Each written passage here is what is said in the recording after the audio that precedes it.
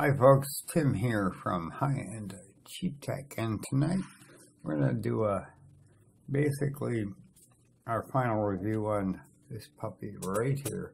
This is the Arteck. You're going to see a lot of reflection there.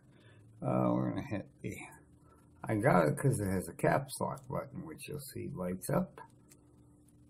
The screen also lights up and I've chosen the green backlit color because it seems to be the best at night. It's easy on the eyes. Um, there's a couple of things I'm going to need to go with it. That's a little USB rechargeable vacuum if anyone has a suggestion or if any of those manufacturers out there would love me to test one, I'd be happy to. I don't want to get a bunch of crud in there and the key travel's fairly short. It works perfect it lights up, stays lit. The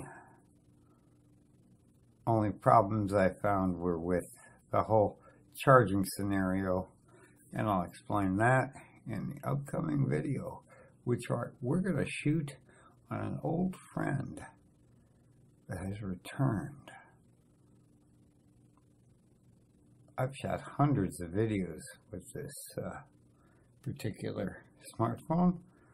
It has an excellent LED and a good microphone.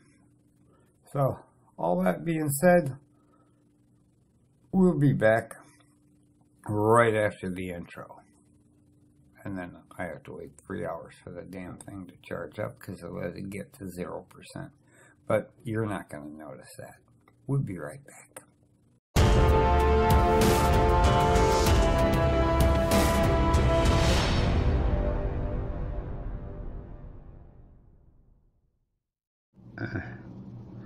Okay, folks, so we've uh, brought this uh, older phone back in to do our recording on. And as you can see, here's our Arteck after, I don't know, a week, week and a half of use. And the reason I bought it, right up there, you can see the caps lock light up. And uh, it's got a fairly long lifespan on the uh, um, battery. I'm not sure how long. It's a little hard to test. I've settled, you can't see it here because we got it lit up brighter than the, uh, well, we got it lit up real bright. Let's just put it that way. But I've gone with the green color. The color that you choose can be changed just by simply hitting the function and then the Alt and the up or down keys. Now the only problem I've seen with this, let's see, we're going to go ahead and plug her in and get her charging. We don't need to. I charged it yesterday. So, but let's just do this anywho. I can figure out how to get plugged in. Alright, now this is coming through a 1 amp connection to the PC. And as you'll see, we have a red light right up here. Now supposedly that'll go out when it's fully charged. Fact of the matter is it never goes out. It just switches over to being a green light. So I sent Arteck a message asking them about that. And uh, their response, they seem more concerned about me not putting a link into something than, you know, they were like, oh yeah, we'll fix that. Uh, I'm thinking once it goes green, you're good. Uh, I'm not sure. If that's the case, it's never gone more than like an hour, hour and a half after four or five days use. I use the screen light up feature all the time, and I usually use the control key over here. And that lights everything up. now you can see the green right down here. And it's very well backlit in the dark. I guess I could unhook the microphone here and I'm going to do that.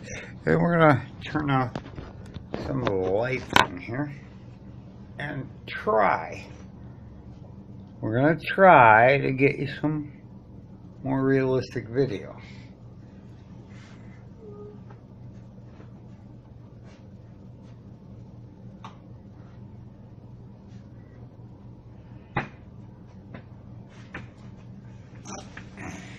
Okay, there you go. Now you get a really good representation of how the keyboard will look.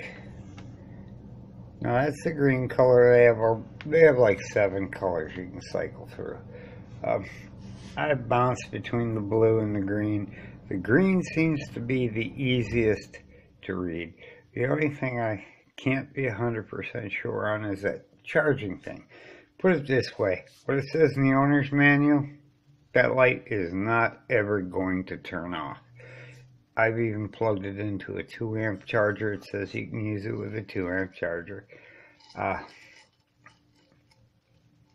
although I found that rather confusing because like my MPOW headphones tell you specifically only use, and they're only less than 40 milliamp hours less battery. But if the company says you can do it one way, then we go with what the company says. So, what's my final take on this thing? It's worth every damn penny, folks. Uh, but to unlock it, your easiest way is just hit the caps button or the control button and then nothing will happen. Now, this thing will pair right up. Uh, limitations. It'll pair up as a USB 3.0 keyboard. Now, like your headphones or like my Unz Angle 3 right back here. Uh, once they've been paired up with something, they'll remember who they're paired up to this thing pretty much will pair up to one device and then the next time you come back to like, say you take it to work and use it with your tablet, and then you come back and you're using it with your you know Windows 10 PC, which is right over there, by the way. Uh, you're going to need to remove the device and repair it and then you'll be okay. It, I think it doesn't have the memory to store multiple pairings. A lot of devices can pair up to 10 different, 20 different devices and they don't care. But considering the price, considering the convenience of having a backlit Bluetooth 3.0 keyboard, oh no, it's only 3.0. Folks, it's only a couple of feet between the keyboard and the uh, device. You, you're not playing music on it. You're not walking away from it. And how often are you going to want to sit and type where you can't see what the hell you're typing? You're not. So, as usual, uh, let me know what you think. Read the description below for the links to this device. And of course, if you found this in any way useful, helpful, entertaining, or you didn't like it, either give us a thumbs up or a thumbs down and leave some feedback in the comments below. And if this is your first time here, subscribe for more content like this. And if you want to see something, let me know. We're going to be getting cable in here shortly, which means we're going to be making way more videos and pumping stuff out. And then hopefully that will help us get more subscribers so we can get way more stuff out and uh, have a little income because right now this is a zero dollar operation. Everything you see in the picture on the screen, this device, this device, this device, and that one, and the wireless charger behind it, I use every day.